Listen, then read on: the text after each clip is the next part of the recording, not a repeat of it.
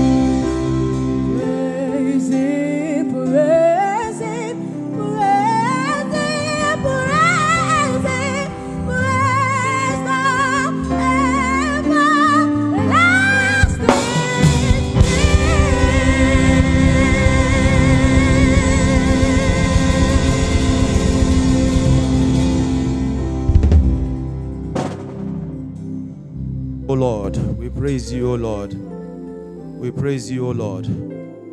You are the everlasting King. We thank you for all that you have done. Praise the Lord. God bless you, choir. Father, in the name of Jesus.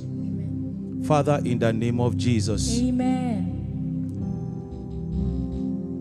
Our Lord and our God, we thank you for today. We thank you for what you are doing in our midst. We thank you for your love towards us. We thank you for the opportunity we have to be before you this morning in worship. Father, be thou exalted in the name of Jesus. Amen. Lord, we understand that you want us to forgive others just as you have forgiven our sins.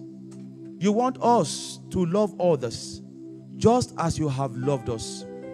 Father, we pray that you give us power, the capacity to love, the ability to forgive in the name of Jesus. The scripture says the entrance of your word brings light, it brings us understanding to the simple. Father, let your word that we are about to listen to let illuminate our hearts in the name of Jesus. Father, we don't want to be the hearers of the word alone, but the doer thereof. Father, the ability to hear and to do according to your word be given unto us in the name of Jesus. Thank you, Father, for answer prayer. For in Jesus' name we pray. For in Jesus' name we pray. If you are glad to be in church this morning, jam your hands together for Jesus. God bless you, choir. You may have your seat. Let's be seated. Good morning, church. I want you to, today is the first Sunday in the month of June, and it's our Thanksgiving service. Everybody is looking gorgeous. I want you to welcome someone to church this morning. Just welcome someone to church. Tell that person that he or she is looking good. Mm. You are looking handsome. You are looking beautiful. Praise the Lord. Some people are not putting on a smile at all. Amen. Praise the Lord. For the next for the next 2 weeks I'll be sharing with you on my message series on forgiveness. On forgiveness. Forgiveness. So today I title my message Amazing Grace. Amazing Grace. Can you bring it down? Amazing Grace. My text this morning is in the book of Romans, chapter 8 and verse 1. Romans, chapter 8 and verse 1. So if you have your Bibles with you, it is time for you to bring them out. Bring them out of the bag. So you need to read with, along with me. Maybe you need to underline some words so that you can always read over later in the day. Praise the Lord. Praise the Lord. It is a known fact that anger, bitterness, and unforgiveness does not only affect the individual, it also affects those people around them. Anger, bitterness, and unforgiveness does not only affect the individual, but also affect other people that are in touch with that person. You will realize as a believer over the years, anytime you have a form of displeasure or you have a grudge in your heart, you discover that you are withdrawn and you want every other person around you to feel pity for you. You want them to be in the same mood with you. But if you discover for one reason or the other, they don't they are not sensitive to your mood, it aggravates you the more. It aggravates you the more. So what is anger? What is anger? Technical sound sound from this from this. What is anger? Anger is a show or a display or a feeling of displeasure. Anger is a feeling or a show of one's displeasure towards another or an event. Anger doesn't last long. Most of the time, anger doesn't last long. However, there is another one that we call bitterness. Bitterness is when you allow your anger to be sustained for a period of time. When you allow your anger to be sustained over a period of time or an unresolved anger, it degenerates to hatred and resentment towards another. And bitterness normally takes long. So when you are bitter, your bitterness will drive you into hatred and resentment towards another or an event. Praise the Lord. Praise the Lord. When you are full of anger or bitterness, it will always reflect in your mood. It will always reflect in your attitude. It will reflect in your actions towards the other you are always full of negativity. When you are full of anger or bitterness, you are always full of negativity. Even the word that you speak, the word that comes out of your mouth is hurtful to the other. It is always hurtful to the other. When you allow your anger to be full grown in your heart, it drives you to evil.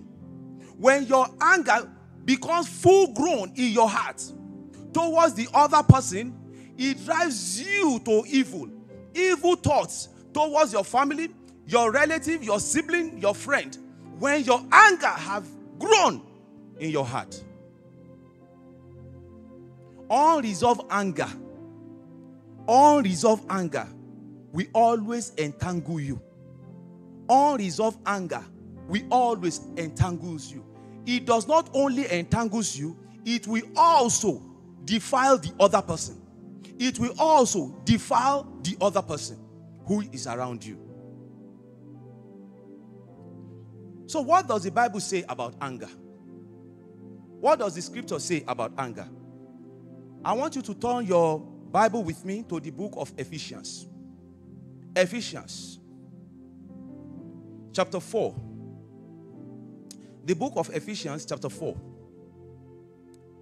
verse 26 and 27. Ephesians chapter 4, verse 26 and 27. Paul was writing to the church in Ephesus, and it reads, Be angry, be angry, and do not sin. Be angry and do not sin. Do not let the sun go down on your wrath. It means don't let the sun go down on your anger, nor give place to the devil. It's a command. He says, Be angry. He said, It's okay to be angry. It's a command. It is a present active imperative word. Be angry. The next word, the next line uh, after it, it says, Do not sin. is also a command. Do not sin means that be angry or do not sin. I want to quickly share four foundational foundational principles from these two verses. Let me share four foundational principles from these two verses. The first one says, Be angry. Be angry. It means that anger itself is a godly emotion. Anger itself is a godly emotion. It is okay for you to be angry. Tell your neighbor, it's okay to be angry. It is okay to be angry. Your angers only helps you draw a red line between you and the other. You see, without your anger, people will dump stuff on you. Your anger simply means you are expressing your displeasure. Your anger is only telling other people that you don't like what they are doing. It's a feeling, it doesn't last long. If you don't display anger, you see, people will take you, people will assume that everything they do to you is okay. They will cross your line, they will cross the boundary. It is okay to be angry. We are created in the image and the likeness of God. Our God is a God of justice. He's a God of justice. In the Garden of Eden, when man sinned against God, God began to mete out punishment.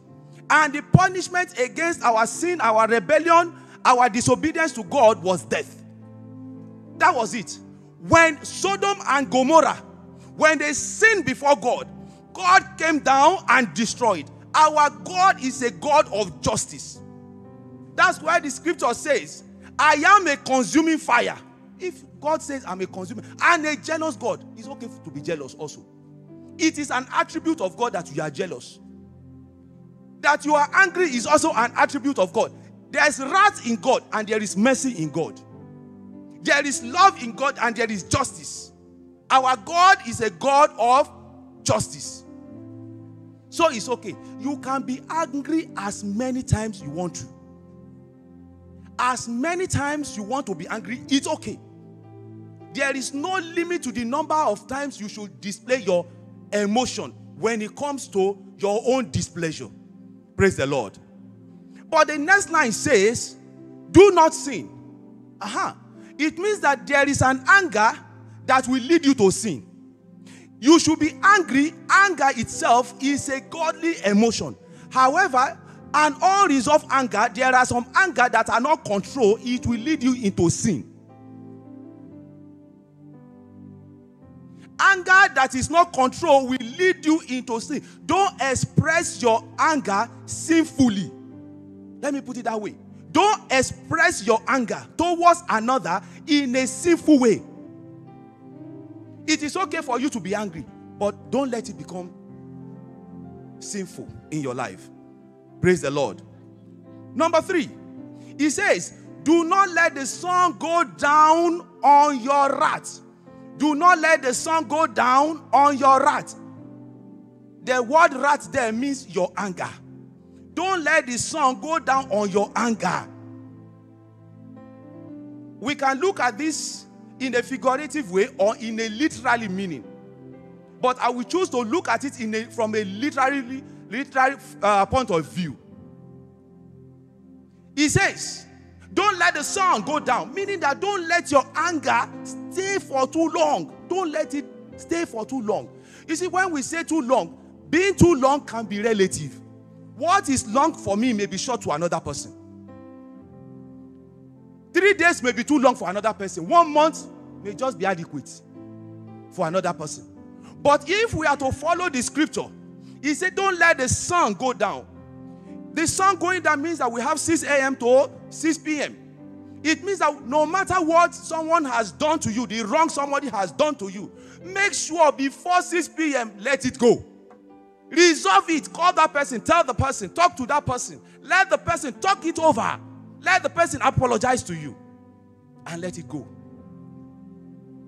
Let it go. Don't sustain your anger.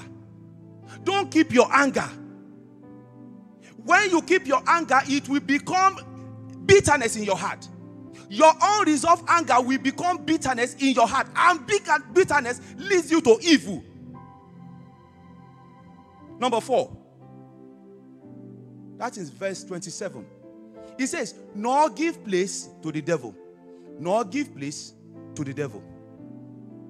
It means that when you allow your anger to be sustained for too long, when you allow your anger to be sustained for too long, it becomes a sin, it becomes sinful in your life, and the, you allow the devil to have a foothold on you. Once you allow your anger to become sin in your life, it will give the devil a foothold in your life. So, what Paul is trying to say to you, it is okay for you to be angry. Make sure you resolve the anger quickly. If you don't resolve that anger quickly, it will become a sin. And when it becomes a sin, the devil will take hold of you. I pray the devil will not take a hold of you in the name of Jesus. So, as a believer, it is okay for us to develop, to pursue a godly attitude, a godly attitude and actions towards the other. It is okay for you, it is okay for me, for us to develop and pursue a godly attitude towards another, to have a heart of kindness, to develop a heart of kindness, to have a heart, a tender hearted heart, to have a tender hearted heart of forgiveness for other. Learn to forgive another. Learn to forgive another and show love to the other. That is what God wants us to do. And that is who we are. I said, That is who you are. I said, That is who you are. In the name of Jesus. Turn with me to the book of Ephesians 4, verse 31. 4 31. Just flip down to verse 31. He says, Let all bitterness, wrath, anger, clamor, and evil speaking be put away from you. And evil speaking be put away far from you with all malice. Let bitterness, wrath, which is your anger, your clamor, evil speaking, let it be put away. As a child of God, if you are in a congregation of people, you are in a gathering of people, and you are having a discussion or a conversation about someone else you should ask yourself this discussion that we are having if that person should come in are we be are we able to continue that discussion? If you cannot continue that discussion it is evil speaking. It is ungodly. It is ungodly. When somebody calls you i want to give you a gist as it hurts i want to give you a gist but don't tell that person that i said so. It is ungodly. It is evil speaking as a woman, as a man, don't engage in any discussion that the other person cannot hear. Once that person cannot hear, I didn't say so. It, the scripture say it is evil speaking. You are gossiping. Don't gossip about the other person. If that person cannot hear it, then you should not hear it. If somebody is coming to tell you something that the person cannot hear, then that person should not tell you. Let that person keep the gist. Let that person keep the discussion. Praise the Lord. Praise the Lord. That is why the book of Psalm, verse chapter 1, verse 1 and 2 says, Blessed is the man, both man and woman. Blessed is the man that walk not in the counsel of the ungodly, or stand in the way of the sinner, or sit in the seat of the scornful. For his delight shall be in the law of the Lord, and in it shall he meditate day and night. In the law of the Lord will he meditate day and night. If you must gossip, gossip about the scripture. That is what he's saying. If you want to gossip, gossip about the scripture. Call somebody and discuss the scripture, what you have studied in the Bible with the person. This is what you should talk about. Don't talk about someone behind the person that that person cannot hear about. It is evil speaking. Praise the Lord. I see people are getting cold this morning. Amen. Amen. An uncontrolled anger will rob you of your happiness and your freedom. An uncontrolled anger, it will rob you of your happiness and your freedom. Sometimes, just for you to show to your relative, to your colleague, to your friends, your deepest emotion when it comes to your displeasure, sometimes we become withdrawn. We get withdrawn. We want everybody around us to know that we are not feeling okay. We want them to come and apologize to us. Let me tell you this quickly this morning. Do you know sometimes when somebody has done something wrong to you, the person may not know that he has wronged you. The person may not know that he has done something wrong to you. And you will hold the wrong. The hurt will be within you. You will keep it for one day. Rather than calling that person to discuss it over with that person, you will tell it to another person. This person that has wronged you has gone away. He's now enjoying his life. He doesn't even remember that he has hurt you. But one week, two weeks after, you are still hurt. Because you expect that person to come back and, and apologize to you. But this person can't even remember he or she hurts you. The day you pick your phone to tell this person that you have hurt me, the person cannot even remember. The person cannot even remember. Why is it that somebody has done wrong to you? You can't pick your phone or call that person immediately and say, My sister, you said something and I don't like it. Don't keep the wrong of people in your heart. Don't store it over. It hurts you. It doesn't hurt that person, it hurts you. That hurt is going to rob you of your own freedom. It's going to rob you of your own happiness. You will discover for as long as you are hurt, you are unhappy. You remain, you cannot sleep because somebody has hurt you. Call the sister, call your brother. Let the person know what he or she has done wrong. Sometimes there are some things that we do that we should be able to overlook. Some things happened, somebody has hurt you. There are things that we can easily overlook. There was a story I had of a couple in a state of Texas in America. This couple, they had an argument, and the man took a saw. A saw is that um, blade that um, the carpenter uses, and he cut the house they are living into two. He saw the house into two half. He pulled one part of the house to one side he pulled the other one to the other side. The wife was living on one half of the house. The husband was living in the other half of the house. And for 40 years, they were living on the same compound, in the same compound, and they didn't speak a word to one another. For 40 years. What is the cause of it? The woman spent small money to buy sugar. Sugar. Sugar. Sugar was the reason for their separation. Sugar was the reason for the anger. There are some things that we should let go. As a child of God, let it go.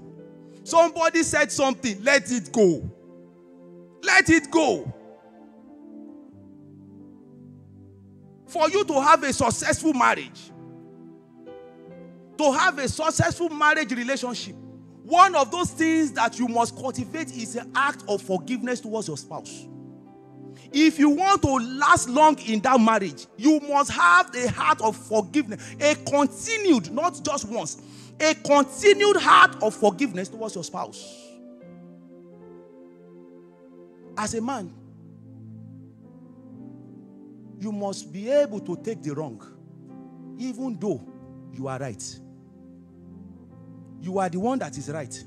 You must be the one to say sorry first. You will say, but the wife will think that I am weak. It is not the show of weakness.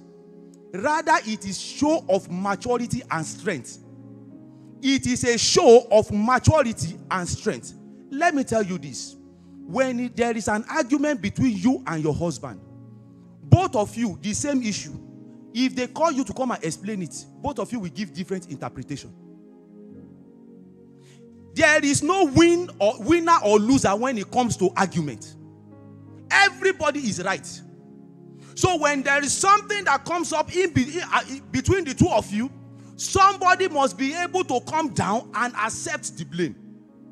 You see, that is why the scripture says, Love your own wife the scripture said to the husband, Love your own wife. You see, this love God says we should love our wife, it is not a filial love.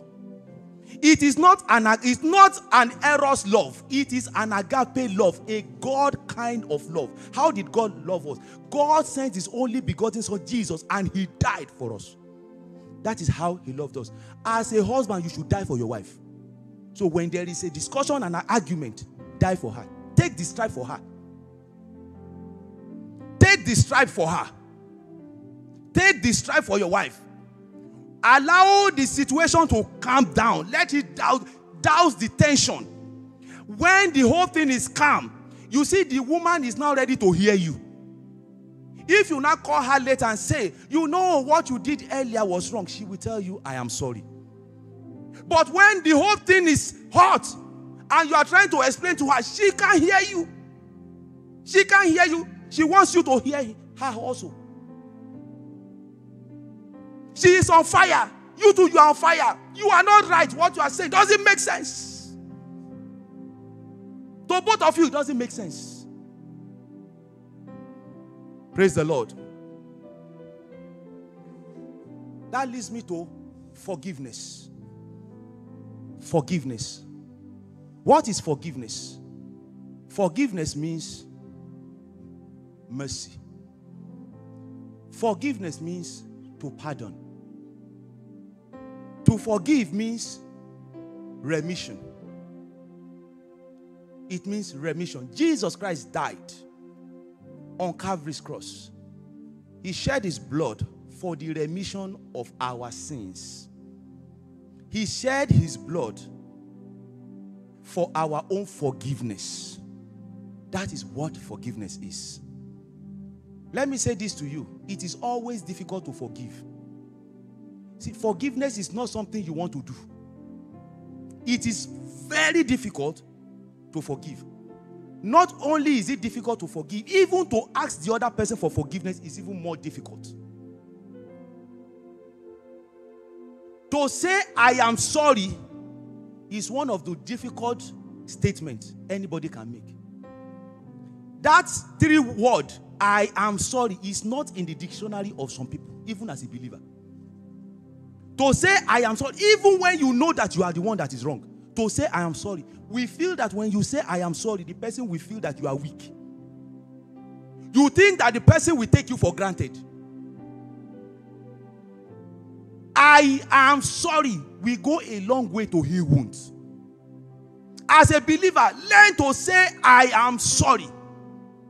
Open your mouth and say, I am sorry. When you know that you are wrong, don't try to justify your wrong. Don't try to justify your wrong.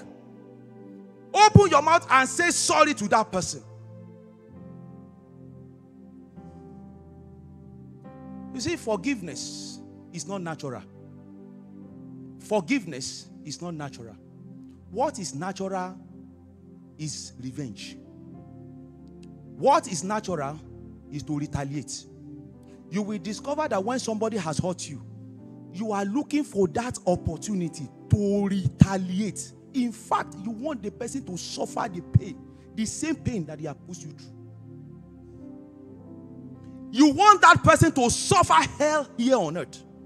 Just for you to prove, to show to that person that what you did was wrong. Next time, don't do it again.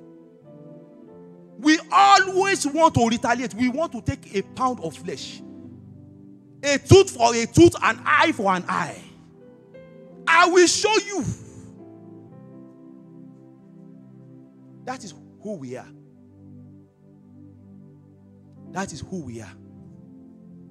We always think that our unforgiveness sometimes we help promote the suffering of the other person. You think that when you live in unforgiveness, that other person will suffer. Let me say this to you it is you that is harboring the unforgiveness that is suffering. You are the one that is suffering. Maybe the person is supposed to help you, the person cannot help you. You are suffering.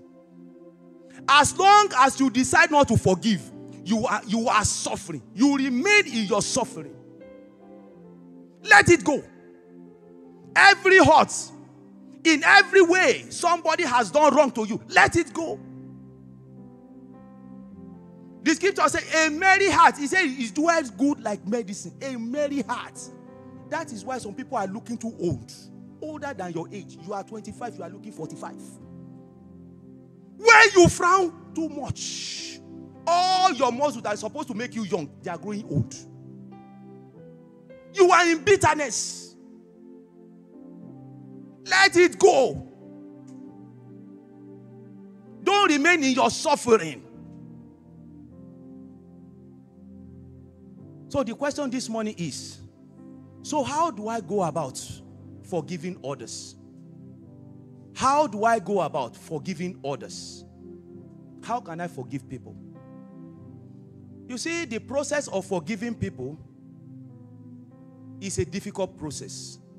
Once you have started the process, it makes you to become like Christ. You are now Christ like. You are now Christ like. Once you start the process of forgiveness, it makes you look like Christ. You see, forgiveness is always very painful. If you are going to forgive somebody for what they have done to you, the fact that you are going to forgive that person without punishing that person, it will pain you the more. It will always pain you the more. Because forgiveness is something you don't want to extend. You don't want to extend forgiveness. Rather, you want to extend retaliation. That is what you want to extend. Peter approached Jesus, Jesus and said, Jesus, how many times should I forgive if my brother sin against me? Up to seven times. Turn with me to the book of Matthew. Matthew. Open the book of Matthew, chapter 18. Matthew chapter 18, verse 21. Matthew chapter 18 and verse 21. Matthew 18 and verse 21. He says, Then Peter came to him, he came to Jesus, and said, Lord, how often shall my brother sin against me? And I will forgive him. Up to seven times, there's a question mark. Up to seven times. You see, let me tell you this. According to the Jewish rabbinic law, there was a law back then. It is believed that if somebody has wronged you up to three times, you can forgive the person. After the third time, the fourth time, uh, you can choose not to forgive. So Peter thought it wise and said, If I go to Jesus and tell Jesus three times, Jesus may say, Uh uh-uh, uh, it's not good, make it four. So Peter, because he know that Jesus always raised, raised the standard, he always raises the bar. So Peter decided to add four more times to it to make it seven. According to their law, it was three. But Peter decided to add four, thinking that Jesus will say, Well done, Peter. Well done, Peter. Seven times is okay. But let us see how Jesus responded to Peter in verse 22. Verse 22. And Jesus said to him, I do not say to you up to seven times, but up to 70 times seven. 70 times seven. If I remember my arithmetics very well, 70 times 7 is 490 times. It means that it is very difficult for you to begin to record. He has offended me one, two, three, four. What Jesus is simply saying is that as many times as somebody offends you, forgive. There is no limit to the number of times you should forgive someone. Forgive as many times. Let forgiveness flow from you. Let forgiveness flow from your heart.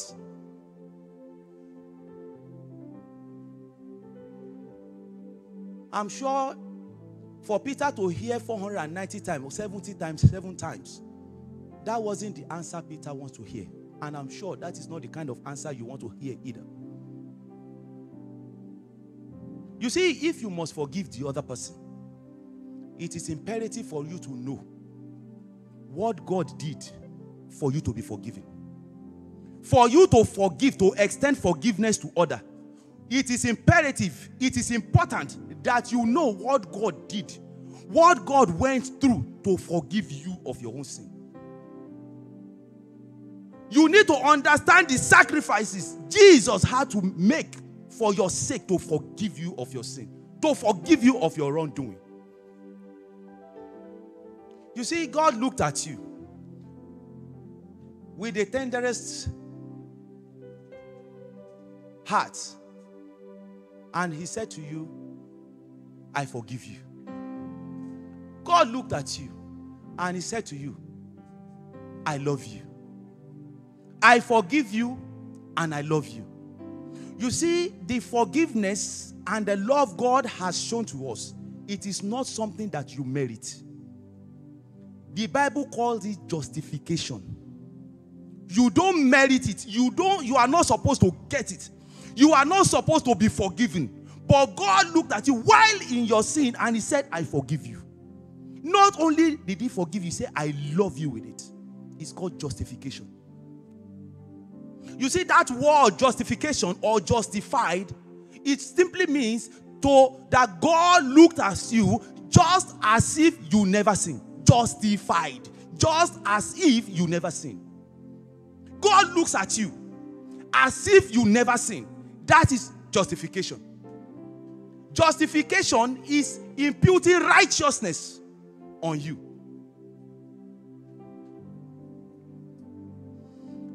Is imputing righteousness, something that you don't merit, imputed on you.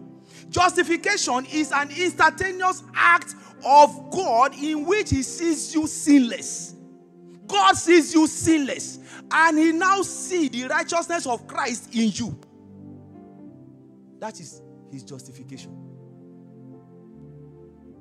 That is what it means to be justified. And we are justified through faith. It is not what you can pay for, it is by faith. The scripture says, It's by grace we are saved through faith. It is by grace, it is His amazing grace. It is the grace that God has extended to you, had extended to me, to us all, that our sins are forgiven. That is why our text this morning, Romans chapter 8, verse 1. Romans 8, chapter 1. It says, And there is therefore now, and there is therefore now no condemnation to them who are in Christ Jesus, who walk not after the flesh, but after the spirit. There is no more condemnation. There is no more condemnation to them who are in Christ Jesus no more condemnation. Walking according to the flesh, meaning that you are satisfying your fleshy desires. Everything that is against God is walking not walking according to the flesh. But if you walk according to the Spirit, is accepting Jesus in your heart and allowing the Holy Spirit of God to walk through you renewing you from your inner man, creating a new nature on the inside of you, and manifesting the fruit of the Spirit. That is why Jesus says, I am the true vine, and my Father is the husbandman or the vine dresser. He says, Any branch in me that doesn't bring fruit, it shall be cut off. But any branch in me that bring forth fruit, he said, it shall be purged or pruned that it may bring much fruit.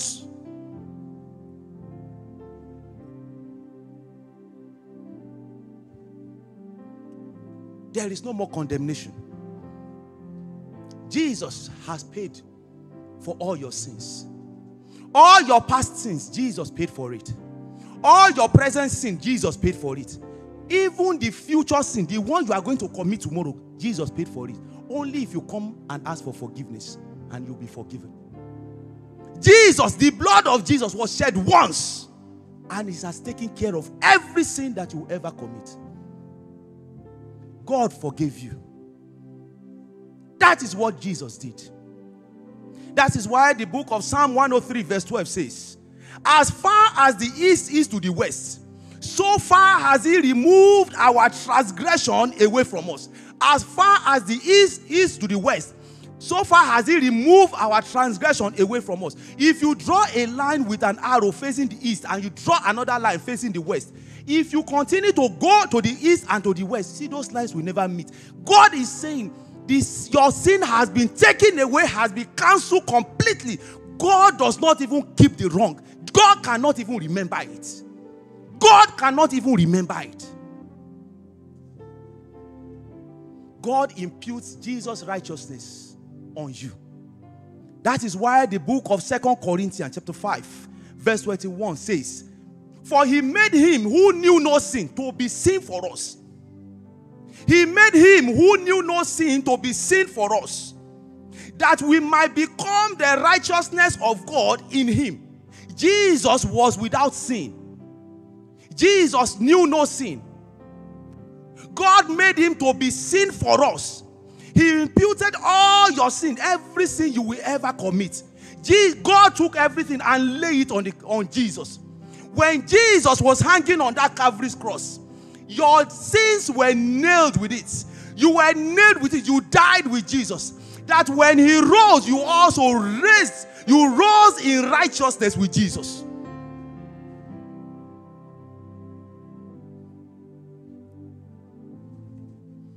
That's why the book of Philippians, chapter 3, verse 9 says, And be found in him, and be found in him, not having my own righteousness I don't have my own, you don't have your own righteousness, which is from the law. But that which is through the faith in Christ, the righteousness which is from God by faith. The righteousness which is from God by faith. Remember that the law was given by Moses. Grace and truth came through Jesus. The law was given by Moses. Grace and truth was given by Jesus. The scriptures is saying, it's very clear. He said the righteousness you have, it is not of your own. It is what you found in Jesus, and is you all only receive it by faith. It is by faith that you have it, not of your works. Not of your works. Not of your works.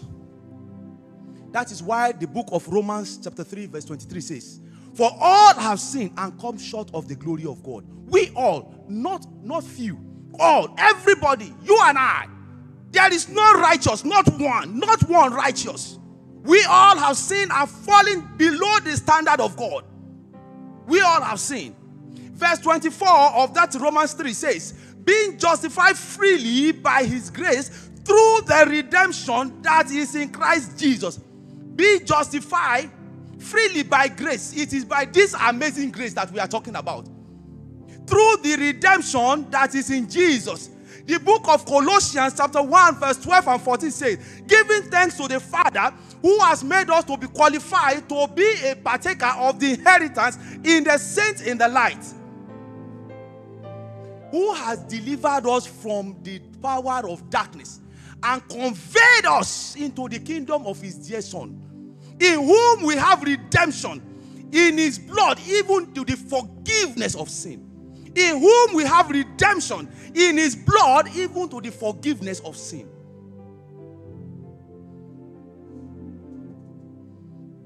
Romans 3:20 says, Therefore, therefore, by the deed of the law, no man be justified. By the deed of the law, no flesh will be justified. For by the law is the knowledge of sin. For by the law is the knowledge of sin. You see, the law cannot take away your sin. That you do not bow to another God, that you do everything according to the scripture, cannot take away your sin. Your sins are only forgiven when you have faith in the finished work of our Lord Jesus Christ. That is the only way your sins are truly and truly forgiven. The book of Hebrews, chapter 8 and verse 12 says, For I will be merciful to your unrighteousness. I will be merciful to all your unrighteousness. For your sins and your iniquities, I will remember them no more. Your sins and your lawless deeds, I will remember them no more. I will remember them no more.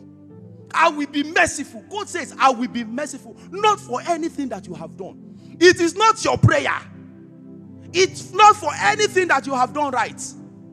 It is what God gave to you free of charge. It was given. This forgiveness was free of charge. All you did was to have faith in the finished work of Jesus, and you have it. And you are forgiven. First John 1 9. First John 1 9 says, If we confess our sins, he is faithful and just to forgive all our sin and cleanse us from all our unrighteousness. If we confess our sins, he is faithful and just to forgive all our sins and cleanse us from all our unrighteousness. Only if you can confess them. Only if you can confess them. Only if you can confess them. If this is what Jesus went through, when I imagine Jesus on the Calvary's cross, Jesus on the Calvary's cross, nailed to the cross, they pulled a ton of horns, a crown of thorn in his head, piercing through his flesh into his skull. The pain and the agony as he began to whip, he was whipping profusely. They put nails in his hands as the blood drips down his hands. They pierce his side as blood flows, uh, water flows from his side. They nailed his feet uh, and he was suspended as he went through the pain and the agony and he's whipping uh, blood gushing down over him. And he looked up to heaven and said, Father, forgive them. For I know not, they know not what they have done. Father, forgive them, for they know not what they have done. Forgiveness is always painful. Jesus demonstrated it. Forgiveness is always painful. This is the supreme act of God's grace of forgiveness. Once you have experienced the forgiveness which God gives, you will be more ready to also extend forgiveness to others. Now you know what Jesus went through to forgive you of your sin. You are now more ready to forgive others. See, Jesus said, I know what you did. I know all that you have done. But I decide to forgive you. Jesus says, I won't wait for you to come to apologize. I forgive you in advance. Jesus says this morning, I forgive you of your past sins. I forgive you of your present sin. And I have forgiven you of your future sins. Everything has been forgiven you. Now you have seen.